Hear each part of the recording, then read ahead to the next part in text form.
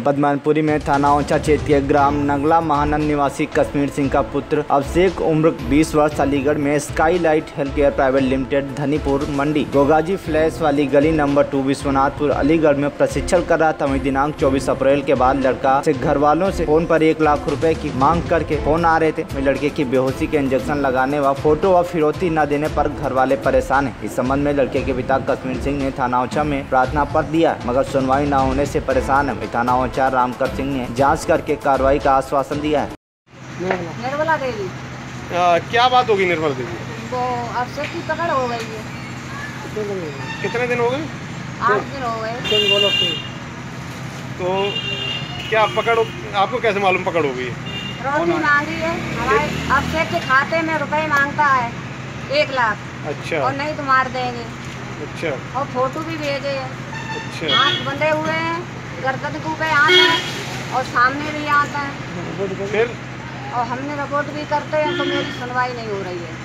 कहाँ रिपोर्ट की? थाने की है। कौन सा थाना? पहुँचा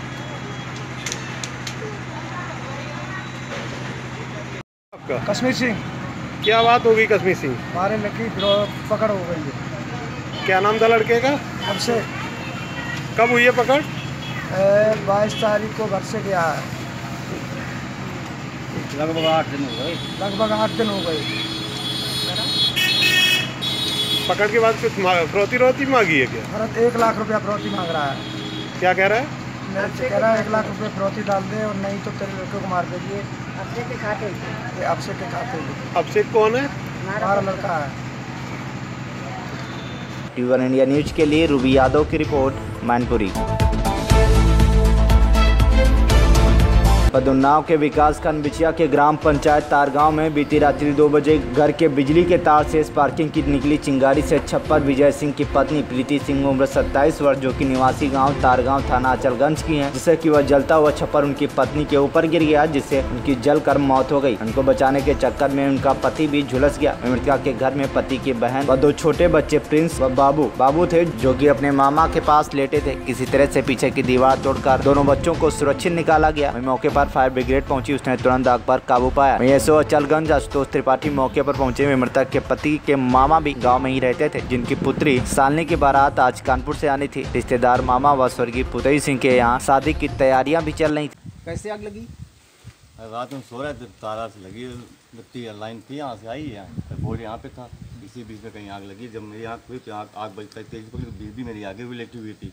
मैं इस पलंग पे लेटा हुआ था। अलग अलग दोनों लोग लेटे हाँ, आगे बीबी लेटी थी पीछे हम लेटे थे पीछे वो वाली तक मेरे भांजी लेटे थे छोटे वाले। भांजे क्या नाम है? एक का प्रिंस नाम एक बाबू छोटा वाला बाबू है। अच्छा कै साल का है बड़ा वाला? बड़ा वाला तीन साल का। छोटा वाला बाबू?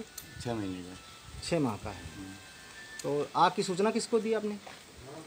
जब आग लगी है तो तो यहाँ पूरे आग यहाँ तक फैली हुई थी।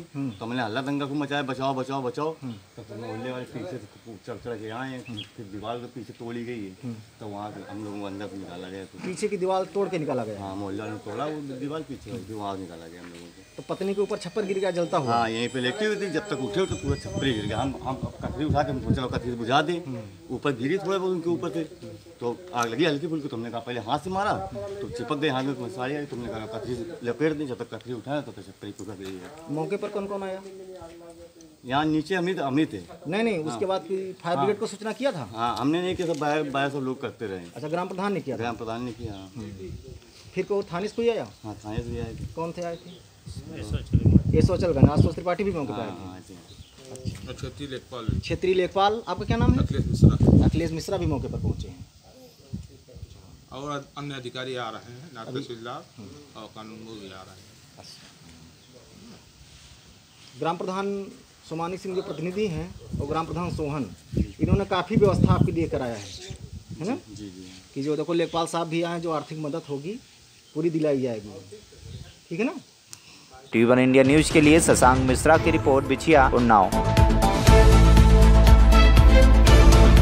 मथुरा में एडीजी पीएससी विनोद कुमार सिंह पहुँचे मथुरा, जहाँ पर श्री कृष्ण जन्मभूमि परिसर की सुरक्षा व्यवस्था का जायजा लिया। वहीं जन्मभूमि परिसर की सुरक्षा व्यवस्था को लेकर अधिकारियों के साथ मीटिंग की। अधिकारी और कर्मचारी को दिशा निर्देश दिए गए। आज एडीजी पीएससी विनोद कुमार सिंह मथुरा पहुँचे, जहाँ पर उन्होंने श्री कृष्ण जन्मभूमि परिसर की सुरक्षा व्यवस्था का जायजा लिया। साथ ही सुरक्षा ऐसी जुड़े उपकरणों को भी परखा। सुरक्षा कर्मचारियों ऐसी बातचीत की और जो भी सुरक्षा ऐसी संबंधित उपकरण सुरक्षा कर्मी इस्तेमाल कर रहे थे, उसकी जानकारी ली। साथ ही संबंधित अधिकारियों को दिशा निर्देश दिए गए कि आपस में सामंजस्य बनाए रखें, एक दूसरे के संपर्क में रहें, ताकि जन्मभूमि परिसर की सुरक्षा में कोई चूक न हो। जन्मभूमि परिसर पर तैनात अधिकारी और कर्मचारियों को एडीजी पीएससी विनोद कुमार सिंह ने यह भी दिशा निर्देश दिए कि जो श्रद्धालु बाहर से आ रहे हैं, उनके साथ मृदु व्यवहार रखें, ताकि जो भी संदिग्ध व्यक्ति दिखाई दें और पुलिस का सहयोग करें। एडीजी पीएससी विनोद कुमार सिंह ने बताया की सुरक्षा के सारे उपकरण परखे गए हैं, और यह भी देखा गया की सुरक्षा में इस्तेमाल उपकरण खराब तो नहीं है, जो केवल नाम मात्र सुरक्षा के नाम पर रखे गए हैं। जन्मभूमि परिसर की सुरक्षा व्यवस्था पहले से ही पुख्ता है, लेकिन जो भी उपकरण सुरक्षा में इस्तेमाल किए जा रहे हैं उन पर विशेष ध्यान देने की आवश्यकता है। संबंधित अधिकारी और कर्मचारियों को दिशा निर्देश दिए गए हैं। स्थानीय लोग भी यहाँ की सुरक्षा व्यवस्था में पूरा सहयोग करते हैं। मुझे काशी अयोध्या और मथुरा में तीनों धार्मिक स्थलों की सुरक्षा व्यवस्था का जायजा लेना था। मैं काशी और अयोध्या का जायजा लेने के बाद मथुरा आया हूँ। सुरक्षा व्यवस्था का जायजा लेकर अपने सभी अधिकारियों के साथ बातचीत की और दिशा निर्देश दिए गए कि किसी भी तरह के उपकरण के खराब होने पर लापरवाही न बरती जाए। सुरक्षा में कोई चूक न हो।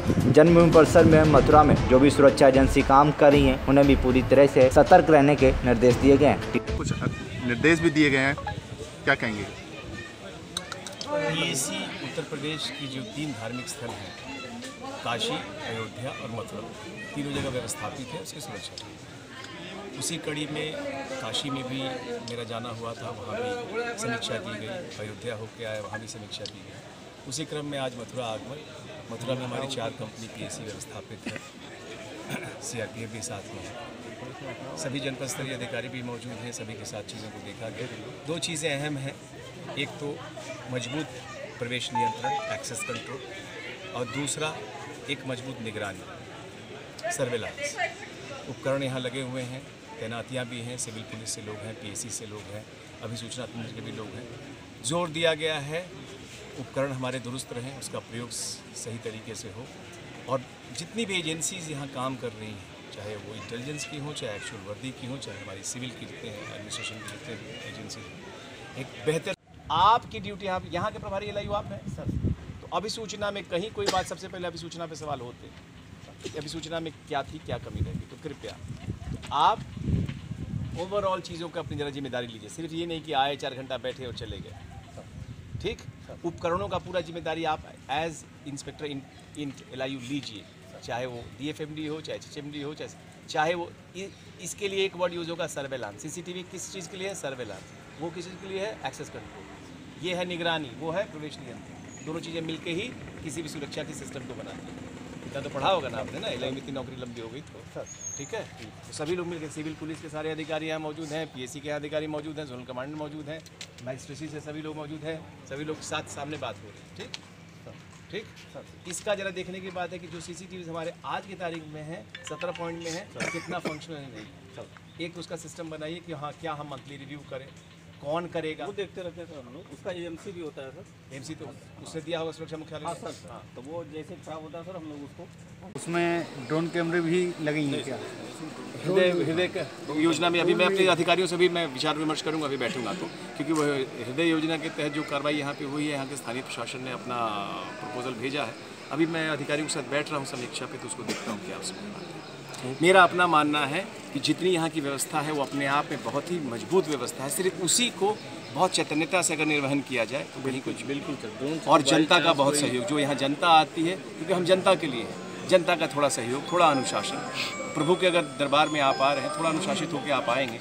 और अगर जनता चैतन्य है जनता अगर बताएगी कोई संदिग्ध व्यक्ति या वस्तु के बारे में या गतिविधि या हरकत के बारे में तो पुलिस का काम बहुत आसान हो जाता है। तो हमने ये ज़ोर दिया है कि जनता के साथ हम अपनी ड्यूटी, बहुत मृदुभाषी रहें, बहुत विनम्र रहें, लेकिन अपनी ड्यूटी के प्रति बड़े अडिग रहें, बड़े स्ट्रेट रहें। वो इंग्लिश में बोलते हैं, पोलाइट येट फर्म। हम बहुत पोलाइट रहेंगे, लेकिन हमारी फर्मनेस में कोई कमी नहीं।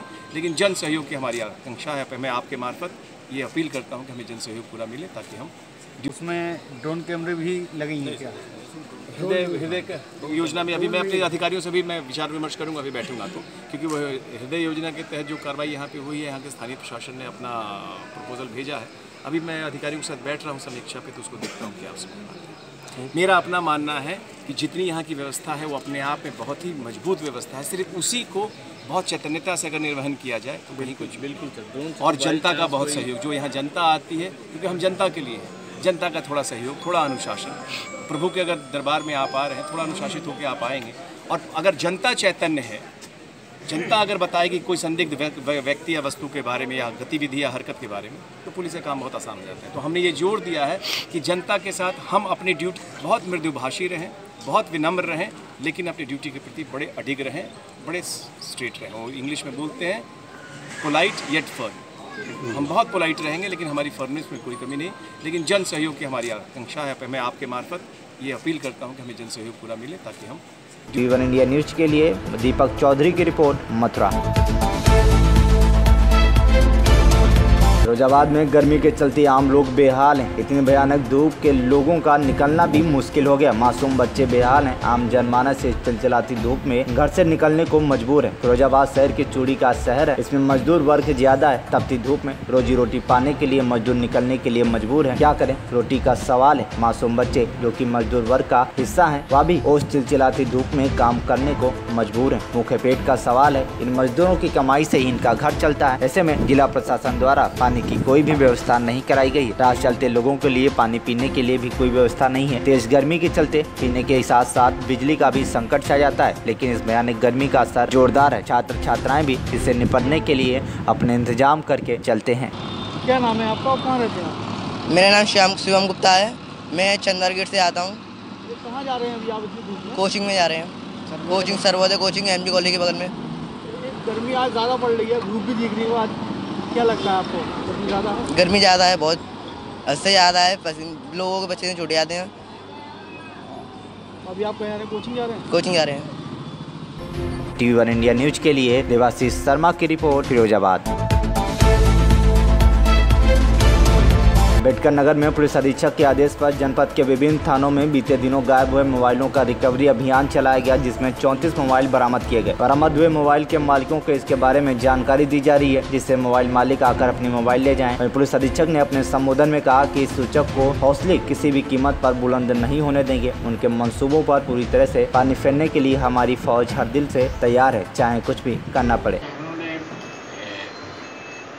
तमाम गुम हुए मोबाइल को प्राप्त करने के लिए एक मोबाइल रिकवरी सेल गठित किया है और पिछले महीने भी इसी तरह से मोबाइल प्राप्त हुए इस महीने थर्टी फोर चौंतीस मोबाइल प्राप्त हुए हैं। और जैसा आपने देखा, इनके जो ओनर थे, उनको बुलाया गया है और उनको हैंड ओवर किया गया आपके सामने। कुछ लोग नहीं आ पाए हैं। उनका सुरक्षित रहेगा, वो आएँगे और उनको किया जाएगा। एक नई पहल हम लोग शुरू किए हैं, जिससे कि पुलिस के प्रति लोगों का जनता में